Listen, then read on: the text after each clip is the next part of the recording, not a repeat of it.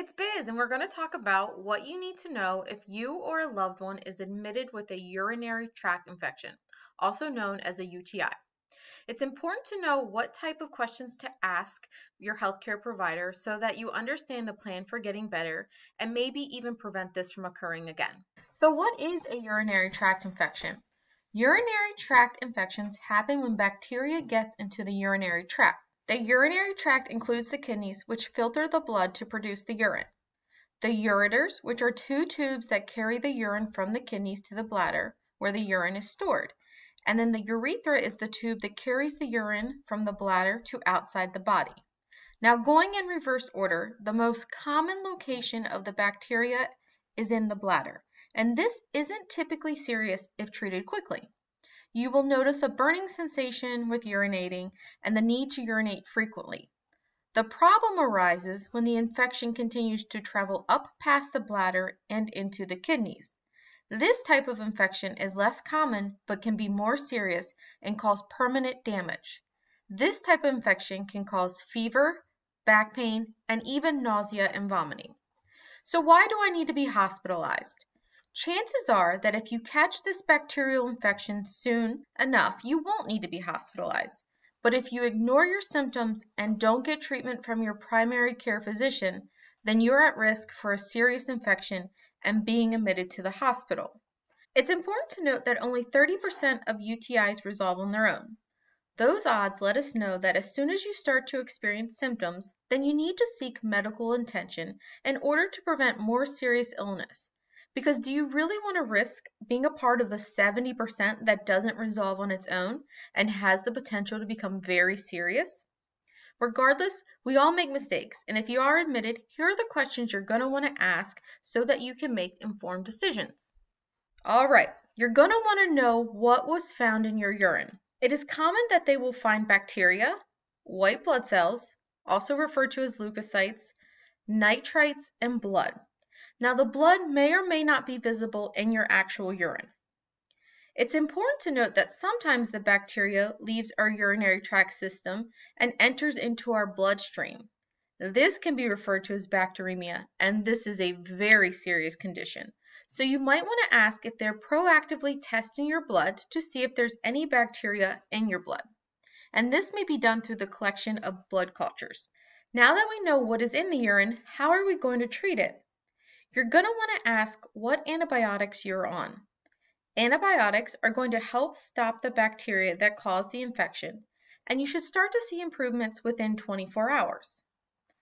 Now, notice when the nurse starts your antibiotics because you're going to want to be aware of any itching, rashes, or trouble breathing at this time.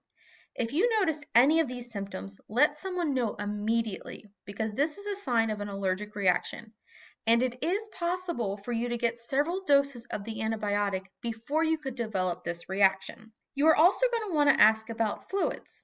Fluids are used to flush your kidneys and can be received orally or by an IV line. Regardless, if you notice that your hands or feet start to feel tight, let someone know because you might be getting too much fluid. Last, you're going to want to know if they expect or need to repeat any labs or urine samples to be collected.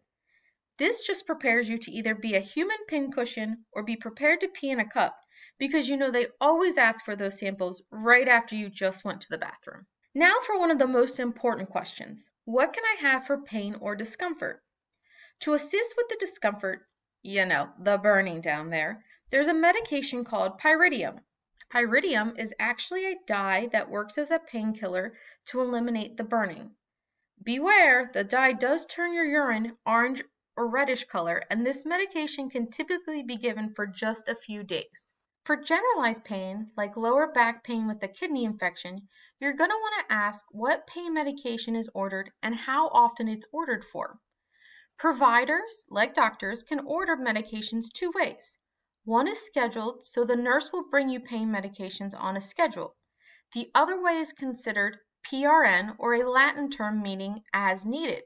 So in this case, you would need to ask your nurse for the medication when you need it. Last, you're going to want to know if there's medications for fever.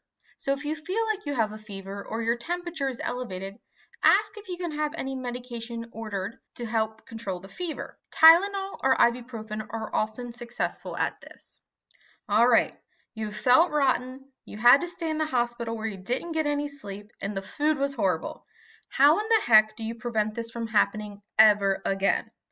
You're going to want to ask your provider why they think this happened to you so that you can try to prevent future occurrences. Bad news is, if it's a result of your personal anatomy, it typically can't be controlled. Rats. However, you can control hydration and hygiene. Fluids cause you to urinate more often and therefore flush out bacteria before it causes a problem. Good hygiene prevents bacteria from hanging out near the urethra and entering the urinary tract system. For women, this often means wiping from front to back. Speaking of women, why do they always seem to get UTIs way more often than males? It's because of the differences between the length and location of the urethra. In females, the urethra sets very close to the rectum where the bacteria can be found. And this is the importance of wiping from front to back to prevent wiping the bacteria towards your urethra. In addition, women's urethras are much shorter, so the bacteria have a much shorter distance to travel to enter up into your urinary tract system. Male urethras are not close to the rectums and run the entire length of their penis, so the bacteria has a much longer distance to travel before it can wreak havoc. Just another way that women get shafted. Yes, pun intended. Lastly, if this has happened to you more than once or twice a year, Ask if they think additional testing would be beneficial for future prevention. It never hurts to ask, and perhaps a trip to the urologist could be helpful to you. All right, in summary, if you're admitted with a UTI, you're going to want to ask the following questions What did you find in my urine? What is my treatment plan? What can I have for relief? And what can I do to prevent this from happening again? And most importantly, do I need any type of follow up with urology? All right, friends, that's my two cents on being admitted with a urinary tract infection.